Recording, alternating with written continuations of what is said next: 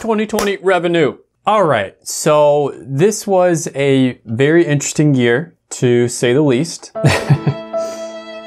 So at the beginning of 2020, I had around 7,000 or so subscribers on YouTube and 6,000 of those I gained in the last month and a half or so of 2019. So on November 10th, I got monetized and my channel pretty much just took off after that. And as you can see, over the last year, I've gained just, just a few subscribers since then. And I did a poll a while back where I asked everyone if they thought I should do an income video where I show how much money I make on YouTube. So around 58% of you said yes, 26% said it depends, and most of the comments just said, you know, only do the video if you feel comfortable doing it or if you want to. But a lot of them kind of hinted at, yeah, we, we kind of want to see. However, 16% of people said that they don't want to see a video like this. And because of that, because of the fact that the illness struck and a lot of people ended up losing their jobs, losing their businesses, and being in a bad place financially, I thought it would be a little bit tone deaf for me to post a video like that, and so I didn't. But I realized that watching videos like this in the past inspired me and helped me get to this point,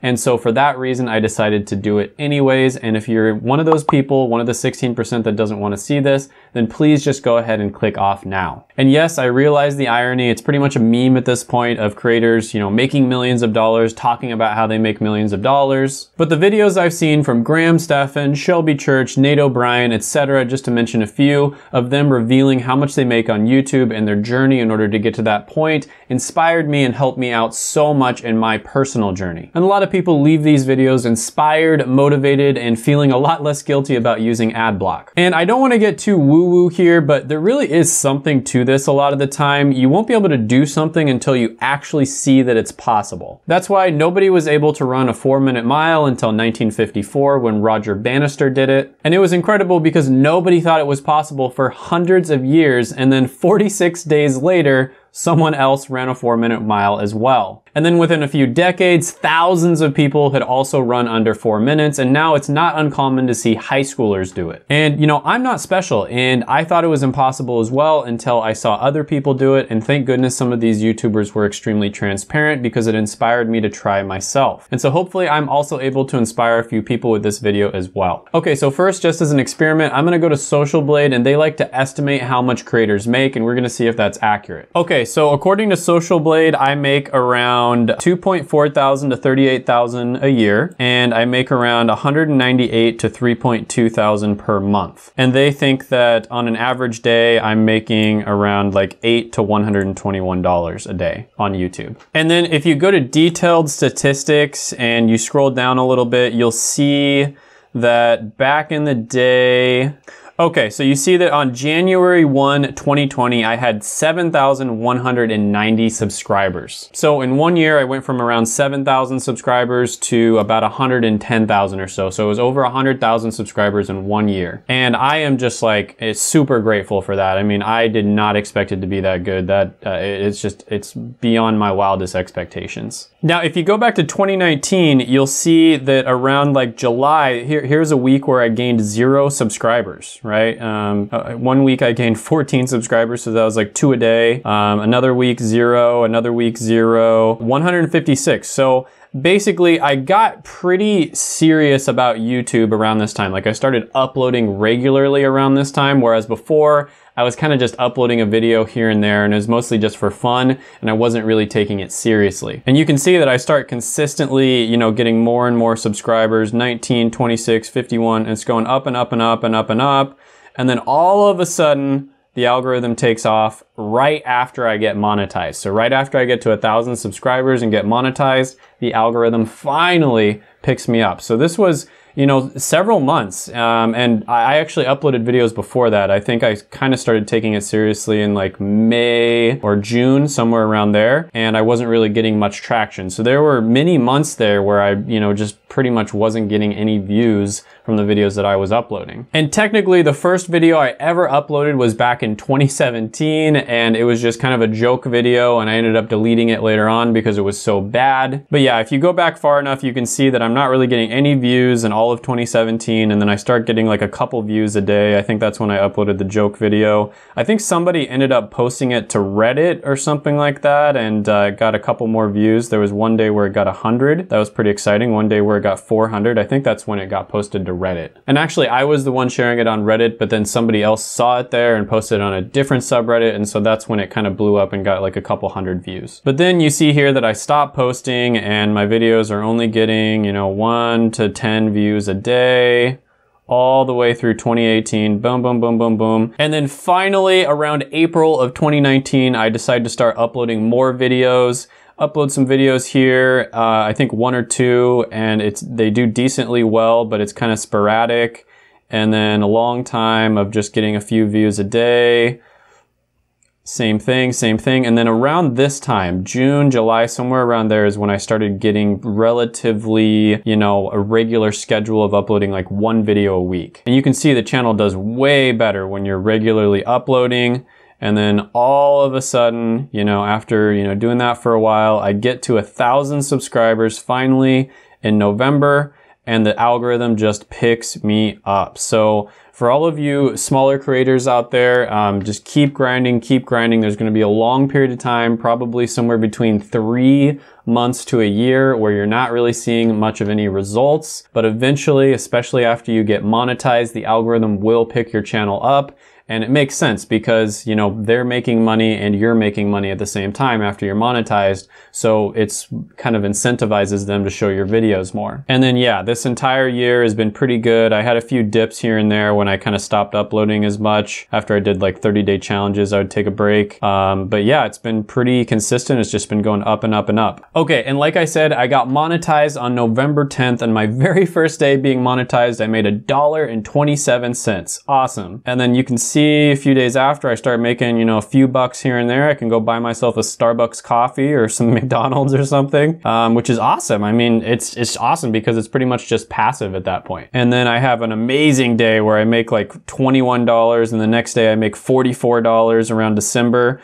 Um, usually in December, they kind of like uh, all the companies will just dump their marketing budget into advertising, and so you tend to make more money overall at the end of the year. Kind of goes down a little bit, and then boom, towards the end of the year, I it just absolutely takes off. I have some days where I make like 180, $300, $130, 101. It, it's just, it's amazing. So all in all, in 2019, I made $2,600 from YouTube. So if you count up all the hours that I worked, it's around 500 hours or so of making videos, doing research, writing scripts, etc. And so I pretty much was earning around $5 per hour from YouTube in 2019. And that is less than minimum wage here in the United States.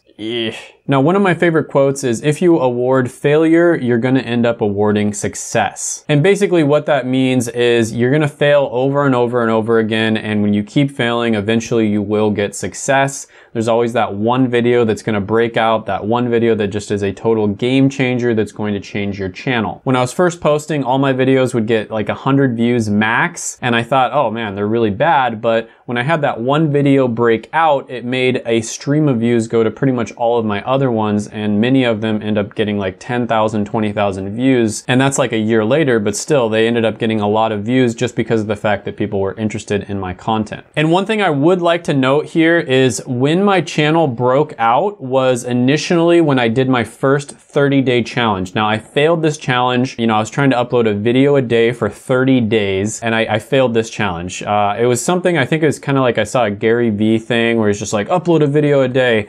And so I'm like, all right, I'll try it. Why not? 30 day challenge. And um, that is when my channel took off. Now, these videos were not the best videos. In fact, a lot of them were really, really bad. I was still in the learning process. I didn't know how to use a camera. I'm really bad when it comes to like technology and cameras and stuff. So it took me a long time to learn how to use it properly. Some of my older videos have awful lighting, awful sound, etc. But I ended up failing the challenge around halfway through or so. I kind of got a little bit sick. And uh, so I think I uploaded 20 videos that month instead of 30. But, you know, around, you know, the 15 uh, day mark, you can kind of see here, I start making a lot more money around like the halfway mark or so. And I think doing 30 day challenges, especially when your channel is small, can really kickstart the algorithm. I continue to do 30 day challenges even after that, and um, they can still be pretty good. I noticed that you do end up getting more views, but when your channel gets to a certain point, you need to start focusing more on quality rather than quantity. But in my opinion, when your channel's small, you should really just focus on quantity. And there's a YouTuber I really like. His name is Roberto Blake. And basically he said one time in one of his videos, just make 52 bad videos. One video a week, you know, 52 weeks in a year, make 52 really bad videos and see what happens. And through this process of making videos, even if you don't think people are gonna be interested in what you have to say, and you know, just put your opinion out there, give it your own perspective. And in this process of making all these videos, you're going to learn how to be a good YouTuber, okay? You're gonna learn how to make better videos, whether you try or not, because eventually you're gonna get bored making bad videos. You're gonna see the same comments over and over again. And you're also just gonna watch your videos and compare them to other people's and just be like, wait, oh, my lighting's really bad.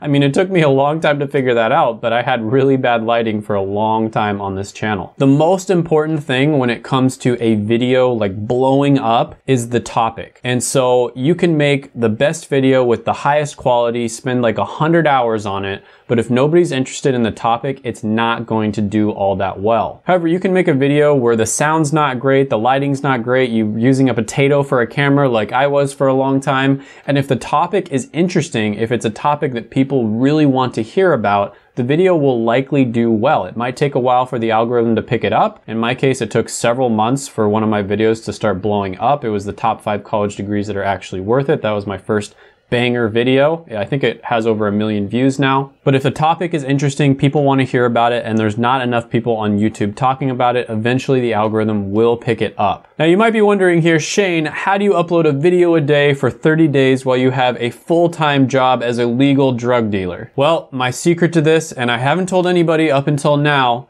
the answer is onions. Don't believe me? Think I'm making it up? Well, it makes you stronger. It increases your testosterone and other things.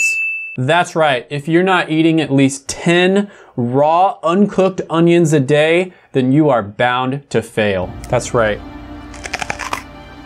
Oh my God! Yeah, I feel so manly now. I'm ready to grind for 36 hours straight and pump out like 10 videos. Oh my God, I'm gonna cry. oh my God, this is so no, that was that was obviously a joke. The real secret is basically what I just did right there. So I did something to illustrate what the secret is. The secret is to basically have your own unique personality and your own unique brand of humor. So my channel is obviously an educational channel and specifically we talk about personal finance. What I noticed when I watched a lot of these personal finance videos is they were way too serious and just like uptight and stuff like that and they didn't have very much humor in them. And there's a lot of people out there that would be interested in getting into personal finance, but they just don't find it entertaining enough and they kind of just get bored hearing somebody lecture them about, you know, why they should sign up for a 401k and a Roth IRA. So basically what I did is I talked about a lot of these topics that I thought were really important, but I did it in such a way where I showcased my sense of humor and my personality. So basically you want to provide quality content, but add a little bit of entertainment and a little bit of spice in there as well. Now, a lot of the time people are not going to think you're funny. They're not going to like your personality and that is totally totally fine because there's lots of people out there that do think you're funny and they do like your personality and those are the people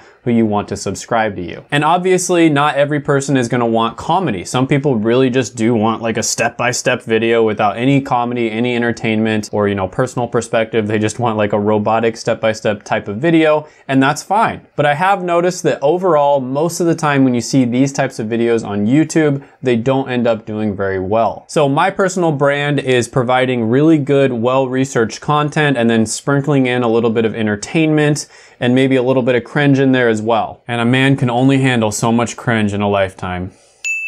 So buy my course today, Onion Eating Chad Master, only $1,997. No, seriously though, the biggest secret is being consistent, posting videos regularly, and having your own kind of brand or flavor of humor and entertainment. And the way I think about this is like swinging a bat. So, you know, if you look at the greatest, you know, home run hitter of all time, the person who hit the ball more than anybody else, I believe it's Ty Cobb, and he hit it around 36% of the time. So even the best of the best, one of the greatest of all time, only hit the ball when they were swinging the bat around 36% of the time. So most of your videos are going to miss. No matter how good you are, no matter how skilled you are, most of your videos are not going to hit unless you're Mr. Beast. That's okay though. You just have to keep going and eventually you will succeed. You will hit a home run. And there's that saying that a rising tide raises all ships. So when one video hits, all of your other videos are going to get a bunch of views to them as well. So I would say just commit to posting at least 30 videos that you think people might find interesting. And there's a very good chance that one of them is going to blow up. Okay, so now for 2020. So I'm around 7,000 subscribers and we're gonna go month by month all through 2020. You can see exactly how much I made. All right, so January 2020, um, started off, made around $87 in a day, 145, 160, um, this was all like really amazing. I mean, I'm, I'm really happy about this. Uh, my best day in January was uh, the 6th and it was $179 in a day. Overall, I made around $3,000 in January. Now, one thing that's very interesting is uh, playback-based CPM is basically how much money you make uh, per 1,000 views. So that's $13 per 1,000 views that I made in the month of January. Now, when you look at videos like this from finance YouTubers, you're gonna see comments comments that are just like, bro, your ad rates are crazy. And to be honest with you, there's certain sections, certain niches that have ad rates that are like $50 CPM, okay? Sometimes even more than that. And if you don't believe me, just wait a few minutes because I'm gonna show you. And as you see with a lot of creators, they actually target these really high paying niches. We're talking like credit cards, stocks, e-commerce, that sort of thing. And my channel is a personal finance channel, but it's definitely on the lower side of things just because of the fact that I don't make a ton of videos about stocks or credit cards. I just just make videos here and there because I think that it would be redundant if I just made lots of content about credit cards. I'm just gonna tell you which ones I think are the best and that's that. I can't see myself making any more than like five credit card videos in a year, and even that would be a stretch. And for me, I just like to make the videos that I think give the most value and the ones that my viewers want to see, and a lot of the times those are not going to be videos that have the higher CPMs. So in February, the revenue went down a little bit, around $3,000. I wasn't posting uh, as consistently. I think I was maybe doing two videos a week-ish, but I probably missed here and there. In March, it went back up just a little bit, you know, $2,900. My best day was around 177. In April, it went up just a little bit more, around $3,000 in a month, and it was pretty consistent. I didn't have any like really amazing days. It was basically just consistently like $100 a day. In May, we had a big jump. So $5,600 in a month. And that is um that I mean that's amazing because that's that's like a I think that's above average for the full-time income of uh, people here in the United States even with a college degree. And so I mean that's amazing. This is a side hustle and it turned into a full-time income in May. My best day here was around $241 and you can kind of see they show the videos here at the bottom. This is when I started uploading consistently three videos a week okay? So the more consistent you get, the better. When I started uploading three videos a week consistently, that's when the channel started doing really, really well. In June, it got even better, jumped up to about $7,000 in a month. And um, my best day was a little over $300. So, you know, that that's that's pretty amazing. Um, I also got 11,000 subscribers that month, which was a record at the time. And another thing to note about June is as you see down here, I did another 30 day challenge in June and I actually completed it. So, you know, some of these videos, I think I ended up deleting them because they didn't do very well, but you know, I posted a video every single day for 30 days and I completed it. And as you can see, there was a pretty big reward when it comes to how much money I made and also how many subscribers I got. So, you know, at this time I was still a relatively small channel. I think I was probably like 30,000 subscribers, somewhere around there. And so, you know, doing this 30 day challenge when you are a small channel, I cannot recommend it high enough. I think it's a fantastic idea. I will probably never do a 30 day challenge again just because of the fact that, you know, I'm 100,000 subscribers now and I think the algorithm wants me to just upload kind of like quality videos at this point. But when you're trying to figure out what types of videos you want to upload, what types of videos people like, all kinds of different things when you're trying to learn how to make videos, I think 30 day challenges are the best thing that you can possibly do. Maybe don't do 30 days. Maybe just try it, you know, with a 10 day challenge, something like that. But it can be absolutely amazing to just upload a video for 30 days. Don't worry too much about the sound or the lighting or anything like that. Just talk about interesting topics. Now, if you look at July, you see, I think I uploaded maybe six or seven videos the entire month. So, you know, I was a little burned out after June uh, doing a video a day. And so I wasn't as consistent in July. But, you know, the cool thing is it didn't actually go down all that much. I still made $6,000. So this is, a lot of this is just kind of somewhat passive. So my videos continued to get views all the way through July, even though I wasn't uploading nearly as often. And then August happened, and this was just an incredible month. So I got back to uploading regularly in August. I think I did three videos a week uh, all throughout August. I probably deleted one of them, but I got 1.2 million views and I made $12,439 in August. My best day was August 6th at $528 in a single day. And if you look at the CPM, it's starting to rise. So it's starting to get higher in August. You know, uh, it's like $17 on average per day uh, CPM, and before it was only $13. So it's starting to get higher, and you'll notice this towards the end of the year, it just starts going, you know, up and up and up. In September, the revenue did go down a little bit. Um, I got less views and it went down, but still really good. 11,000. I mean, that's way higher than it was before. And my best day in September was around $502 on the 23rd. And also, if you look at the playback based CPM, it's $20.96 in September. So basically, what I think happened here is companies kind of work on a quarterly basis. They've got Q1, Q2, Q3, Q4, and uh, at the end of each quarter, they kind of just dump their ad budget. So at the end of the year, they, they really dump their ad budget, but at the end of each quarter, they also dump it into ads. And so you see the uh, CPMs going up just because all the companies are doing it at the same time. And so in the last 30 days of the quarter, Q3, uh, which would be September, they really increased the ad budget. So there was one day here, I think it was like $24.92 CPM on average. Now that is really good because, you know, if you look at like vlogging channels, for instance, a lot of the time you'll see their CPM is one to three dollars. And so a $20 CPM is fantastic. I mean, don't get me wrong. It's not nearly as good as like credit card channels and, you know, some of the e-commerce and things like that. But hey, I'm not complaining. $20 CPM is amazing. If you go to October, uh, pretty much the same thing. I was consistent again here at the bottom and you see the uh, revenue was uh, a little bit less, uh, you know, around 11,400, but still, uh, you know, fantastic. Best day was around $590. And then if you look at November, it goes up just a little bit more, $12,194. And my best day was 531. And then if you look at December, I did another 30 day challenge and I was able to complete this one as well. I already deleted some of the videos because they weren't very good and they didn't do very well. Um, but you know, what I learned here, and this was just, you know, last month, you know, 30 day challenges when you, when your channel is bigger, it's not really going to help all that much. Doing it early on when the YouTube algorithm's trying to figure out what your channel is all about is fantastic because it helps the algorithm basically index your channel and figure out, you know, what types of advertisers are going to, you know, advertise on your channel, etc., and what your channel is all about. But later on, when you're starting to get bigger, you really want to start focusing on quality. And so for 2021, I'm going to be all about quality. After I've done, you know, the videos that I've already recorded, um, I'm really going to start focusing on like, you know, doing videos in the new set and all that sort of thing and I'm gonna try to make my videos as good as possible because not only is it more fun to make quality videos, but I think when your channel is a little bit bigger,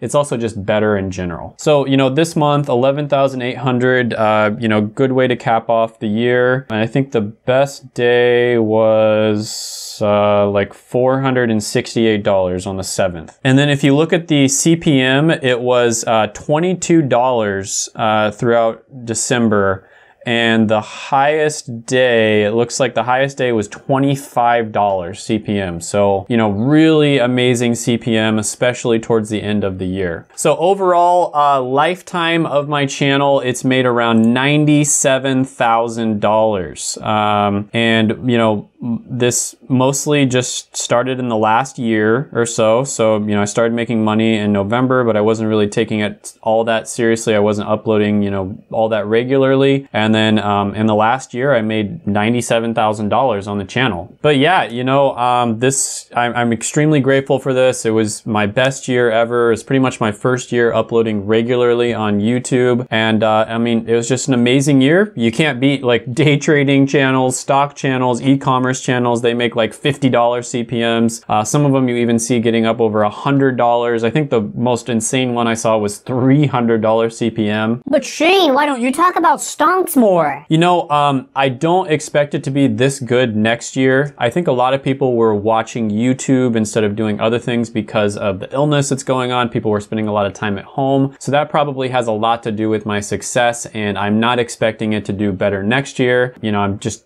tempering my expectations if it does better, that's great. If it doesn't, then, you know, that's great as well. Oh yeah, and I almost forgot, you probably want to see some like exact videos. Uh, this was my best video ever, uh, the most useless degrees. It got, you know, it made $13,000. Just one video made $13,000. It's been consistently making money for a long time. It's also gotten me, you know, 17,000 subscribers. Uh, this is a fantastic video. Uh, it also um, is one of my most controversial videos. This, uh, out of all my videos, by far, this is the one that gets the most angry comments. And I can kind of see why I was a little bit harsh in my opinion. I was kind of in a little bit of a mood that day when I made it and I was a little bit harsh and I've tried to kind of like tell people that, you know, hey, I'm not judging you if you, you got this degree or you like something like this. I'm just saying, probably not worth it to go $40,000 in debt for a degree like this. And that's kind of the nature of YouTube as well, is um, kind of extreme content tends to do really well. Controversial, extreme, dramatic content. I remember watching uh, the actual YouTube creators channel and the guy who's the, the head of all of them, he's like in charge of all of them, he actually recommend uh, drama, like creating drama uh, as a way to grow your YouTube channel. So, I mean, hey, it is what it is, I guess. Uh, I try not to make too many videos like that, but uh, they tend to do extremely well. Uh, this is my second best video ever, top five college degrees that are actually worth it. Something interesting to note about this one is when I first posted it, it did decently well. It got, you know, 500, 600 views. I think I posted it on like Reddit or something like that. Um, and then somebody else started sharing it too. Um, but if you look, the first 100 and first half a year that it was posted, it got less than 10,000 views, right? And then all of a sudden, when my channel got monetized, it just blows up. Boom. It blows up to over a million views. So, you know, I think a lot of people imagine that you're just going to post a video and it's just going to blow up right away. And in reality, that doesn't always happen. So, you know, in the case of this video, it took half a year for the algorithm to pick it up. And overall, it made about $11,000 and it's still consistently getting uh, quite a few views. So, you know, this is this has been a really good one. Another one I want to look at really quickly is the uh, stockbroker tier list. Now, this isn't one of my highest earning videos, but, um, you know, it earned around $2,200 or so, 2,300 almost almost, got around 60,000 views. But what I want to show you is the CPM on this. I mean, stock related videos, uh, the CPMs are just, they're insane. It's, it's just, uh, that's all I can describe it as. $62 CPM. This is the highest on my entire channel. So, you know, if I wanted to just make the most amount of money possible, I would just talk about stocks all the time. Like I would talk about stocks and stockbrokers and, and all that sort of thing. Clearly that is the way to make the most money. Um, 62 dollars CPMs, but I probably make, I don't know, around maybe 10 videos a year that are related to stocks and like stockbrokers and all that sort of thing. Because I think that I would just be a little bit redundant. I would just be saying the same things over and over again. And uh, my channel is a little bit more focused on careers, college degrees, and personal finance in general, rather than just focusing on stocks. So yeah, uh, that's it. Um, I'm trying to rack my brain for any other possible things uh, you would want to see. If there's anything that I didn't include here uh, that you guys want to see, just mention it down below. And when I do this, uh, maybe next year or later on this year, maybe I'll do it again. I will include all of those things that you want to see. Yeah, you know, I'm an open book. Uh, there's nothing I'm not going to share with you guys. You know, anything you ask me, I'll be willing to show you. I mean, maybe I wouldn't show you my tax returns. That's that's a little bit weird, and I probably wouldn't give you my social security number. But anything within reason that you guys ask for, I will show you on this channel. And yes, I know I'm to get this question because I get it at least once a day. I'm a full-time pharmacist. I work full-time as a pharmacist. This is something that I do on the side. I have not quit my job as a pharmacist, and people always ask, you know, are you going to quit your job?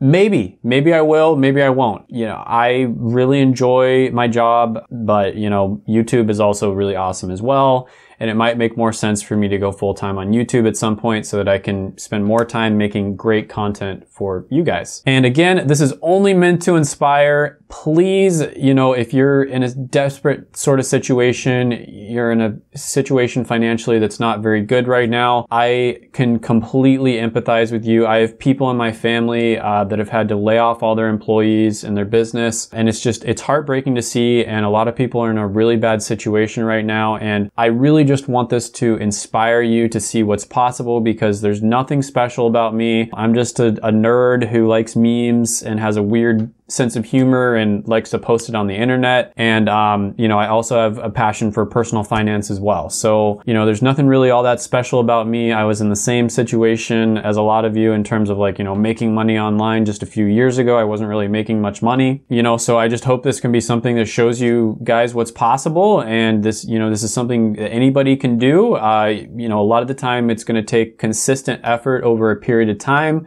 It's not one of those things where you blow up overnight. Uh, there's a few cases out there. I know Jennelle Eliana, the girl in the van who has the, the snake or whatever, she grew up to a million subscribers in one month. But that is the exception of the rule. That almost never happens in real life. Most of the time it's going to be consistent grinding. And in order to, you know, get monetized to the point where the algorithm is going to pick you up, you're probably going to have to make videos anywhere from like three months to maybe even like one year before the algorithm picks you up. And that's just me being realistic. I don't want to say, hey, don't do it. I'm not trying to be a dream killer or anything like that. I just try to give you guys realistic advice. Usually it is going to take a period of time before the algorithm will pick up your videos. But with that being said, uh, if you haven't done it already, already, go ahead and gently tap that like button, hit the subscribe button, ring the notification bell, comment down below any thoughts, comments, criticisms, etc that you have on the video. And before you leave, check out my other videos right here. I made them just for you.